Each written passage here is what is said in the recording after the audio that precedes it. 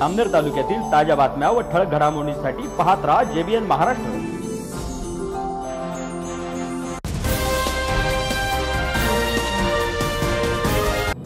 नमस्कार मी मिनल चौधरी. पाहूया काही ठळक वृत्त. राष्ट्रवादी काँग्रेस पक्ष युवक अध्यक्ष डॉक्टर प्रशांत पाटील यांनी काही दिवसांपूर्वी जामनेर शहरात झालेल्या रोजगार मेळाव्यासंदर्भात पत्रकार परिषद घेतली. ग्रामविकास मंत्री गिरीश महाजन यांच्या वतीने काही दिवसांपूर्वी जामनेर शहरात रोजगार मेळावा संपन्न झाला. या मेळाव्याच्या माध्यमातून निवड झालेल्यांना जर्मनीमध्ये रोजगाराची संधी उपलब्ध करून देण्यासंदर्भात हा रोजगार मेळावा घेण्यात आला. जर युवकांना रोजगारासाठी परदेशात जावं लागत असेल तर आपल्या देशातील सरकार बेरोजगारांना रोजगार मिळवून देण्यासाठी असमर्थ आहे अशी टीका डॉक्टर प्रशांत पाटील यांनी पत्रकार परिषदेत केली. त्याचबरोबर डॉक्टर प्रशांत पाटील यांनी या पत्रकार परिषदेत आणखीनही बरेच काही मुद्दे उपस्थित केलेले आहेत. पाहूया. नमस्कार. मी डॉक्टर प्रशांत भीमराव पाटील राष्ट्रवादी तालुका युवक अध्यक्ष जामनेर. आज या ठिकाणी पत्रकारांना बोलवण्यामागचं मुख्य कारण असं आहे की कुठलाही पक्ष असेल राजकीय पक्ष असेल या पक्षामध्ये विरोधी पक्षातील व्यक्ती हा आरसा दाखवण्याचं काम करतो. आणि जामनेर तालुक्यातील सक्षम विरोधी पक्ष राष्ट्रवादी काँग्रेसचा एक युवक अध्यक्ष या नात्याने मी या ठिकाणी पत्रकारांना आमंत्रित केलेलं आहे. काही दिवसांपूर्वी दोन चार दिवसांपूर्वीच आपल्या तालुक्याचे सन्माननीय ग्रामविकास मंत्री गिरीश भाऊ महाजन यांनी या तालुक्यामध्ये रोज बेरोजगारांना रोजगाराच्या संधी मिळवण्यासंदर्भात मेळावा आयोजित केला होता. मेळावा आयोजित केला लोकप्रतिनिधी या नात्याने मी त्यांचं अभिनंदन देखील करतो की काहीतरी युवकांसाठी सुरुवात केली. परंतु त्यांच्या कार्यक्रमाचे मी यूट्यूबवर काही व्हिडिओ बघितले पत्रका पेपरमधील काही कात्रण बघितले आणि त्यामध्ये त्यांच्या भाषणातील जी मुद्दे होती की परदेशात ज्या नोकरीच्या संधी आहेत त्या संधी युवकांना खुणावत आहे आणि आपल्या तालुक्यातील किंवा जिल्ह्यातील तरुणांनी या संधींकडे नोकरीची संधी म्हणून बघावी आणि त्यांनी परदेशामध्ये नोकरीच्या निमित्ताने जावं असं त्यांचं स्टेटमेंट त्या ठिकाणी आहे. परंतु मला असं वाटतं की हे कुठेतरी चुकीचं स्टेटमेंट आहे.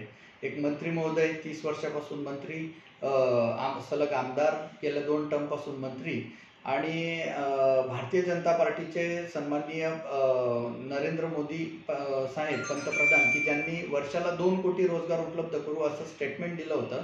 परंतु या ठिकाणी परदेशातील नोकरींकडे तुम्ही लक्ष द्या असं म्हणणे म्हणजे तुम्ही बेरोजगारांना नवीन संधी उपलब्ध करून देण्यासाठी असमर्थ आहात असाच एक प्रकारचा त्यांचा उद्देश आहे. दुसरी गोष्ट त्या ठिकाणी जर्मनीहून काही उद्योजक आलेले होते की ज्यांनी म्हटलं की आम्हाला त्या ठिकाणी बेरो बेरोजगार मुलांना रोजगाराच्या संधी आहेत. तर मला वाटतं की त्यांनी कुठले इंजिनियर वगैरे अशा प्रकारचे संधी हे सांगितलेले नाही. दुसरा सर्वात महत्त्वाचा मुद्दा की जामनेर तालुक्यातील बहुसंख्य इंजिनिअरिंग झालेली मुलं असतील किंवा बेरोजगार युवक असतील हे मुंबई असेल नाशिक असेल पुणे असेल या ठिकाणी आपल्याला रोजगाराच्या निमित्ताने गेलेले दिसतात किंवा नोकरीच्या निमित्ताने गेलेले दिसतात. याचं मुख्य कारण काय आहे की तुम्ही जळगावमध्ये किंवा जामनेर तालुक्यामध्ये कुठल्याही प्रकारची कंपनी या ठिकाणी आणू शकला नाही.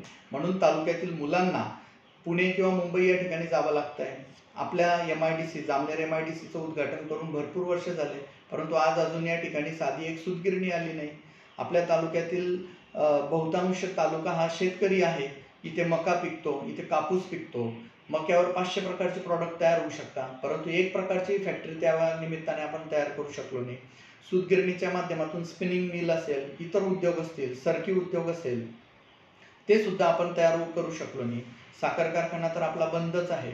तर केवळ रोजगार भरवा मेळावा भरवायचा आणि मार्गदर्शन करायचं हे नाही. कृतीतून कुठलंही कार्य या ठिकाणी मंत्री महोदयांकडून दिसत नाहीये.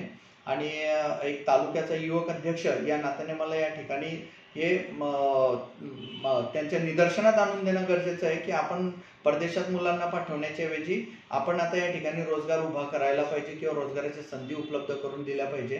तरच आम्ही या आपल्या मेळाव्याचं कौतुक करू. अन्यथा मेळाव्यापुरतंच भाषण आणि भाषणापुरताच मेळावा आणि भाषणापुरत्याच संधी असंच आम्ही या ठिकाणी राष्ट्रवादी काँग्रेसच्या वतीने म्हणू. त्याचबरोबर अजून एक सांगावंसं वाटतंय की आपण बऱ्याच वेळेस आढावा घ्यावा की तालुक्यातील किती विद्यार्थी आपले पुण्यात आणि मुंबईत आहे आणि हे का गेले? आज जामनेर तालुक्यामध्ये इंजिनिअरिंग कॉलेज वगैरे आहे सर्वच आहे. परंतु मग इथे एखादी फॅक्टरी का येत नाहीये? त्यांना इथं का रोजगार उपलब्ध करून दिला जात नाहीये? एम आय डी सीच्या नावाखाली आपण फक्त सांगतो की आपल्या जामनेर तालुक्यात एम आय डी सी आली परंतु तिथं रोजगार का नाहीये? सूतगिरणी का नाहीये? कुठल्याही प्रकारचं एम आय डी सी उभी राहण्यासाठी जे हॉस्पिटॅलिटी लागते म्हणजे तालुक्यामध्ये उद्योजकांसाठी एखादं चांगलं हॉटेल असेल एखादं चांगलं हॉस्पिटल असेल त्याला वाहतुकीची सुविधा असेल या कुठल्याही प्रकारचं हॉस्पिटॅलिटी नसताना आपण लोकांना फक्त जामनेर एम आय डी सीच्या माध्यमातून गाजर दाखवतोय असंच मला या ठिकाणी म्हणावंसं वाटेल. आणि हे सांगण्यासाठीच मी आज या ठिकाणी आमंत्रित केलेलं आहे. राष्ट्रवादी तालुका युवक अध्यक्ष आणि या तालुक्यातील सक्षम विरोधी पक्षाचा पदाधिकारी म्हणून लोकप्रतिनिधींना आरसा दाखवणं हे माझं काम आहे. यातून लोकप्रतिनिधींनी काही मुद्दे घेतले सिरियसली घेतले आकसाच्या भूमिकेतून न घेता विकासाच्या भूमिकेतून जर घेतले तर निश्चित या तालुक्यातील तरुणांना रोजगार या ठिकाणी मिळेल असं मला वाटतं. मी माझी भूमिका या निमित्ताने व्यक्त केली. या सो यावेळी माझ्यासोबत जिल्हा युवक सरचिटणीस सागर कुमार हे देखील उपस्थित आहे.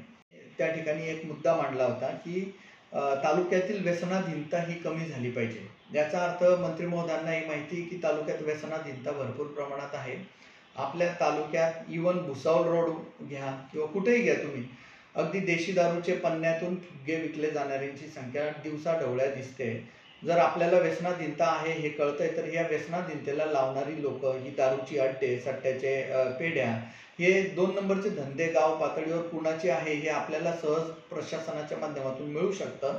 आपण व्यसनाधीनतेपासून दूर राहा हे म्हणण्यापेक्षा हे व्यसनाधीनता करणारी जी अड्डे ही नेस्तनाबूत करण्यासाठी आपण का काम करत नाही असा माझा युवक अध्यक्ष म्हणून त्यांना या ठिकाणी प्रश्न आहे. आजच्याच अं, हे पेप मंत्री महोदयांच्या भाषणामध्ये एक उल्लेख होता की ज्या लोकांना जर्मनीला जायचं आहे त्यांना जर्मनीची भाषा आली पाहिजे किंवा इंग्लिश बोलता आलं पाहिजे. परंतु एका महिन्यात कुठलाही विद्यार्थी जर्मनी भाषा ही शिकू शकत नाही हे मंत्री महोदयांना अवगत असणं गरजेचं आहे. आज महाराष्ट्रभरामध्ये शिक्षण व्यवस्था ही आठवीपर्यंत ढकलम गाडीची शाळा आहे. ज्या विद्यार्थ्यांना धड व्यवस्थित लिहिता येत नाही बोलता येत नाही ती जर्मनी भाषा शिकतील कुठून? त्याचबरोबर आजचा जो पेपर आहे या पेपरमध्ये एक बातमी आलेली आहे की रिटायर झालेले जी शिक्षक आहेत त्यांना पुन्हा नव्याने जिल्हा परिषदेच्या शाळा किंवा इतर अनुदानित शाळांवर त्यांना मानधनावर लावण्यात यावं असं त्यांनी म्हटलेलं आहे. परंतु आज तालुक्यात जर बघायला गेलं तर भरपूर तालुक्यामध्ये डी एड बी एड झालेली विद्यार्थी बेरोजगार अवस्थेत आहेत. त्यांना आपण संधी का देत नाहीये?